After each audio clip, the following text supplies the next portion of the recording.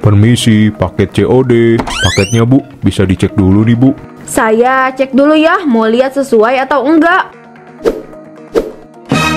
Loh, kok sandal sih? Saya kan pesennya baju. Gimana sih kamu? Kok pesanan saya bisa salah gini? Kamu salah ambil paket kali. Saya nggak mau bayar ah.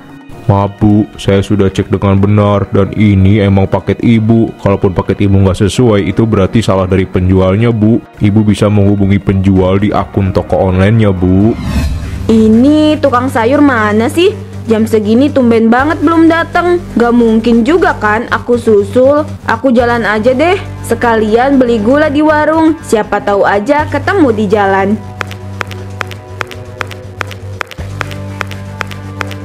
Eh, Bu Raisa, belanja Bu. Kalau saya ke sini ya berarti beli sayur, gak mungkin beli baju. Ayo bu, mau beli apa silakan dipilih. Ke mana aja sih bang? Biasanya sebelum jam segini udah di depan rumah. Oh, tadi di depan alhamdulillah udah banyak yang beli, makanya saya baru ke sini. Ini ikannya kenapa mati? Ya emang biasanya gitu bu, tapi ikannya masih seger kok. Cuma emang saya taruhnya di situ. Kalau saya taruh di ember nanti ikannya loncat-loncat kabur nanti bu. Alasan aja, bisa kok taruh di ember atau kotak tertentu biar ikannya masih hidup. Kalau kayak gini kan ikannya busuk. Nih, ibu lihat sendiri, ini ikan masih seger bu. Tuh bisa dilihat dari matanya masih seger gini, masa dibilang busuk sih bu? Udah ah, saya nggak mau beli di sini lagi. Ikannya nggak ada yang seger, sayurannya juga pada layu. Mending beli di pasar. Ya ampun, Bu Raisa itu marah-marah mulu ya. Mana nuduh lagi? Sudah biasa itu mah, saya udah kebal sama kelakuan Bu Raisa. Nanti juga dia balik lagi buat beli. Permisi, paket COD. Paketnya bu, bisa dicek dulu nih bu. Saya cek dulu ya, mau lihat sesuai atau enggak. Loh, kok sandal sih? Saya kan pesennya baju. Gimana sih kamu? Kok pesanan saya bisa salah gini? Kamu salah ambil paket kali. Saya nggak mau bayar ah. Maaf bu, saya sudah cek dengan benar dan ini emang paket ibu. Kalaupun paket ibu nggak sesuai, itu berarti salah dari penjualnya bu. Ibu bisa menghubungi penjual di akun toko online-nya bu. Saya nggak mau bayar. Kan kamu yang bawa paketnya. Udah sana pergi. Ngapain minta saya bayar? Kamu juga harusnya tanggung jawab dong. Gara-gara kamu, saya nggak bisa pakai baju baru. Padahal saya mau pergi arisan pakai baju itu. Tapi saya nggak punya hak untuk bertanggung jawab atas kesalahan barang ibu. Bukan urusan saya bu, beneran deh. Ibu-ibu, lihat nih, saya dapat paket salah. Masa saya beli baju yang datang malah sandal? Nih, gara-gara tukang paket ini nih, dia nggak bener nganterinnya. Bisa-bisanya bawa paket salah. Maaf bu, ibu seharusnya nggak ngomong kayak gitu. Tadi saya udah bilang kan kalau itu emang paket ibu dan pesanan ibu salah dari pihak penjualnya. Tapi kan kamu yang antar. Balikin uang saya. Jangan teriak-teriak begitu Bu, malu didengar tetangga. Lagi pula bener, si masnya nggak salah. Ngapain dia harus ganti uang ibu? Kalian itu sama aja. Dia selalu marah-marah kayak gitu ya bu. Iya mas, tiap hari teriak-teriak. Kita yang tetangganya saja sampai terganggu. Sakit telinga saya kalau dia udah teriak-teriak. Ya udah bu, saya permisi ya. Kamu itu gimana sih? Ibu udah beberapa kali bilang kalau sore itu tolong angkat jemuran. Ini sudah malam, jemuran masih ada di luar. Untung gak hujan. Coba kalau hujan, kamu cuci semua bajunya. Tadi sore kan Salsa pergi les, Bu. Abis les langsung masuk kamar istirahat karena capek. Jadi emang gak sempet. Alasan aja kamu. Sebelum masuk kan bisa angkat jemuran dulu. Kamu tuh ya, ibu itu kalau sore sibuk jaga toko. Kamu disuruh angkat jemuran aja nggak bisa. Ibu marahin kamu lagi ya? Udah biasa itu pak, ibu kan kerjanya marah-marah terus. Tadi siang juga kan kata tetangga, ibu marahin kurir gara-gara paketnya salah. Kurirnya sampai dibentak-bentak lagi. Bapak juga nggak paham sama ibu kamu itu. Tiap hari marah-marah terus. Padahal dulu nggak kayak gitu loh. Kemarin bapak sampai ditegur sama Pak RT karena ibu kamu teriak marah-marah ganggu tetangga. Nanti bapak coba bilang sama ibu ya, biar dia nggak marah-marah terus. Iya pak, aku malu soalnya sama tetangga. Ibu jadi diomongin terus, tetangga jadi ngejauhin kita. Ya udah, kamu istirahat aja ya. Udah malam. Bapak juga mau istirahat. Sebenarnya ibu tuh kenapa sih marah-marah terus? Aku sih nggak masalah ibu marah sama aku. Tapi kalau dia marah ke tetangga, bahkan yang paling sering ke kurir kan kasihan. Duh, nganter paket ke sini lagi. Males banget, pasti nanti marah-marah lagi. Mana COD lagi? Ah, semoga aja nggak salah lagi. Permisi, paket, paket. Mana paketnya bang? Saya cek dulu ya, takutnya kayak kemarin. Tuh kan, salah lagi. Gimana sih bang? Saya pesen kerudung. Kenapa yang datang sisir? Kamu tuh kurir gak bener ya? Saya udah bilang dari kemarin bu, kalau isi paketnya beda dengan apa yang bu pesan itu bukan kesalahan saya. Saya hanya perantara untuk mengantar pesanan setiap pembeli bu. Kalau begitu, saya tidak mau bayar paketnya. Enak saja, saya bayar, tapi pesanannya tidak sesuai. Gak bisa bu, ibu harus tetap bayar. Paketnya udah ibu buka, kecuali paketnya belum dibuka. Saya bisa kembalikan paket ini. Saya nggak mau tahu ibu harus bayar paket ini, apa pun yang terjadi. Ada apa ini ribut-ribut? Kamu bikin masalah apa lagi Raisa? Bisa nggak sehari aja kamu nggak buat masalah? Kok kamu marahin aku sih? Aku nggak nyari masalah, tapi kurir ini. Lihat, paket aku salah lagi. Aku pesen kerudung, tapi yang datang malah sisir. Aku nggak mau bayar paketnya. Maaf pak, itu bukan salah saya. Saya hanya mengantar paket ke pembeli. Urusan isi paket salah atau tidak itu tidak ada hubungannya dengan saya. Berapa harus dibayar? Biar saya aja yang bayar. 50 ribu pak. Wah baiklah pak, terima kasih ya. Saya permisi. Kamu kenapa bayar paketnya? Itu paketnya salah, Pak. Kalau salah, protes ke penjualnya, jangan ke kurir. Tugas mereka cuma nganter barang, bukan ganti rugi barang, Bu. Ah, semua orang bikin aku kesal. Kenapa lo masih di sini Ardi? Biasanya kalau udah dapat paket banyak langsung tancap gas nganterin. Pusing gua, ada 6 paket yang harus gua antar ke rumah Bu Raisa. Ya tinggal dianterin lah. Justru bagus kan paket yang lo bawa jadi cepet habis terus lo bisa jadi cepet pulang. Yang bikin gua males itu dia marah-marah terus. Gue dimarah-marahin depan banyak orang. Yang malu lah gua. Mana kalau pesen yang COD dia nggak mau bayar. Untung ada suaminya tuh kemarin yang mau bayar. Yang sabar ya bro, itu namanya ujian hidup. Hehehe. Lu mau nggak bisa ngasih solusi? Udah ah, gue mau nganterin paket. Eh bentar-bentar Ardi, ini gue punya ide. Tapi sebelumnya itu paketnya COD atau bukan? Di paketnya sih semuanya bukan COD sih. Aman, ini mah bukan COD. Nah lu taruh aja di depan pintu paketnya. Nggak usah teriak ada paket terus lu cat Bu Raisa kalau paketnya di luar. Habis itu lu kabur aja daripada lu kena amuk. Wah, pinter juga temen gua nih. Haha, muji sih muji, tapi nggak usah geplak pala gue juga dong. Aduh, dikira nggak sakit apa? Hehehe, maaf ya. Yaudah gua duluan nganterin paket. Emang Bu Raisa semenakutkan itu ya? Kasihan juga Ardi kalau dimarahin terus. Untung gue pinter, bisa ngasih ide bagus ke Ardi. Kenapa paket aku jadi rusak semua? Tadi paketnya malah udah di depan pintu. Biasanya kurir teriak ada paket. Ini enggak. Kenapa sih malam-malam udah teriak-teriak? Malu didengar tetangga tahu? Lihat aja sendiri. Semua paket aku rusak. Ini pasti kurirnya gak bener bawanya. Kalau ini bukan salah kurirnya, masa kurir bisa bikin baju robek gini sih? Ini memang dari tokonya kayak kemarin. Aku udah hubungin tokonya. Kata tokonya bener kok pesenannya. Tapi kenapa? Nyampe rumah malah salah. Gimana gak kesel coba? Ya sudah, coba sekarang kamu chat aja tokonya bilang kalau barang rusak. Selesaikan masalahnya, minta kembalikan uangnya atau kirim ulang barangnya. Ya nggak bisa gitu dong. Bajunya mau aku pakai besok. Ih, kamu tuh nggak paham banget sih. Udah ah pusing aku. Kamu nggak paham-paham. Aku mau telepon kurirnya. Terserah kamu deh, aku udah capek ngadepin kamu. Halo, kamu pasti yang nganterin paket saya ya? Kenapa paketnya rusak semua? Baju celana pada robek, piring juga udah pecah semua, gak bisa dipakai. Kamu tahu nggak? Saya udah bayar mahal, tapi yang datang gak sesuai. Sekali lagi saya katakan bu, itu bukan kesalahan saya. Ibu bisa menghubungi penjualnya. Selamat malam. Bisa-bisanya dimatiin teleponnya. Ah, sial. Besok aku jadi nggak bisa pakai baju baru. Assalamualaikum, Bu.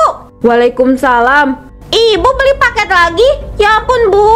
Emangnya ibu nggak trauma apa beli paket gitu? Nanti kalau barang-barangnya nggak sesuai lagi, ibu marah-marah. Anak kecil gak usah ikut campur. Sudah, sana masuk. Jangan bilang ini semua paket kamu lagi ya. Iya, ini semua paket aku. Kenapa? Kamu mau marah? Ini semua paket aku beli pakai uang aku kok, bukan uang kamu. Bukan masalah pakai uang siapa Ya aku takutkan itu Kalau paketnya nggak sesuai sama yang kamu pesan Nanti kurir lagi yang jadi bahan pelampiasan kamu Terus jangan bilang Tadi kamu habis marahin kurir lagi ya Iya Bukan urusan kamu. Lagian aku marah-marah juga ada sebabnya kok. Emang kurirnya aja yang nyebelin. Tapi Raisa Udah, mending kamu bantuin aku bawa paketnya. Wah dia itu emang kebiasaan banget Tumben banget malam ini sepi. Biasanya jalan ini rame. Di, kok merinding ya? Raisa, siapa kamu? Kenapa kamu tahu nama saya? Dan apa mau kamu? Saya peringatkan kamu untuk tidak bertindak semena-mena kepada para pengirim paket. Apa maksud kamu? Cepat bilang, siapa kamu? Saya diutus sebagai pelindung para pengirim paket. Sekali lagi saya peringatkan, kamu jangan semena-mena dengan mereka. Kamu pasti cuma orang gila. Pergi, jangan ganggu saya. Kenapa kamu ngikutin saya? Pergi, pergi. Raisa, Raisa. Setiap tindakan yang kau lakukan terhadap orang lain akan kembali kepadamu. Jangan sampai kau terlambat. Tidak, tidak. Kamu serius gak mau ikut aku dan Salsa ke rumah adik aku? Aku agak khawatir ninggalin kamu sendirian di sini tahu.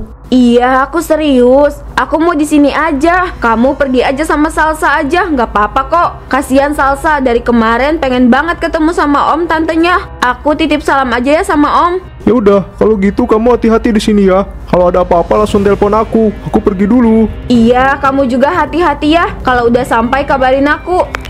Padahal udah siang, tapi kok udaranya dingin ya? Apa cuma perasaanku aja? Ah, tapi nggak mungkin. Jangan marah-marah, jangan berteriak, jangan semena-mena. Raisa, ingat semua perbuatan akan kembali kepadamu. Hah? Suara siapa itu? Ah, ah, kenapa suara itu datang lagi? Semenjak ketemu nenek-nenek misterius semalam, aku jadi gak tenang. Ah! Raisa, ada apa? Kenapa berteriak gitu? Mas, tadi ada yang ngomong, tapi aku nggak tahu itu siapa. Orangnya nggak ada. Kamu halusinasi. Duduk dulu. Kenapa teriak-teriak gitu sih? Aku tadi sama Salsa udah mau berangkat, tapi dengar teriakan kamu aku jadi susulin kamu ke sini. Aku udah bilang, Mas, kalau aku dengar suara-suara aneh, tapi nggak ada orang. Suara aneh gimana? Apa yang kamu dengar? Ya udah kamu istirahat aja. Kayaknya aku nggak jadi pergi. Aku di sini aja. Aku nggak bakalan tenang ninggalin kamu kayak gini. Ibu kenapa, Pak? Tadi teriak sampai kedengaran keluar. Nggak tahu Salsa. Tadi katanya dia dengar suara-suara aneh, tapi orangnya nggak ada gitu loh. Mungkin ibu kecapean, Pak, makanya halusinasi. Berarti kita nggak usah pergi, Pak. Aku khawatir sama ibu. Iya, bapak juga rencananya gitu. Takut nanti ibu kenapa-napa. Loh, aku di mana? Ini bukan kamarku. Aku di mana?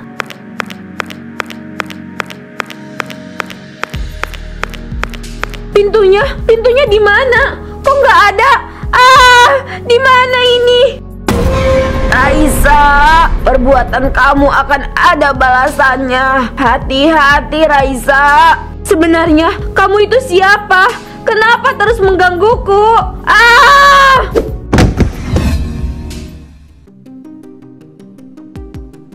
Raisa, kamu kenapa? Bangun Raisa. Raisa bangun. Mas, Mas, tadi, tadi aku, aku, aku ada di tempat seram, Mas. Tenang Raisa, kamu semalam tidur di kamar. Gak mungkin kamu ada di tempat seram. Kamu pasti cuma mimpi ya. Enggak, aku nggak bohong. Pas aku bangun, aku kayak ada di rumah hantu. Terus pas aku mau keluar pintunya nggak ada. Dan dan ada nenek-nenek tua. Dia, dia pakai baju hitam. Dia, Raisa, ayo duduk dulu. Kamu tenang ya, kamu itu cuma mimpi. Dari tadi nggak ada nenek tua. Cuma ada aku sama Sasa. Itu juga Sasa udah pergi sekolah dari pagi. aku serius, Mas. Ada bayangan nenek tua. Terus dia bisikin aku. Tenang ya, kayaknya kamu lagi kurang sehat deh. Dari semalam kamu teriak-teriak ketakutan. Udah kamu istirahat aja ya. Aku bikinin makanan dulu buat kamu. Aku yakin kalau itu bukan mimpi. Semuanya kelihatan nyata.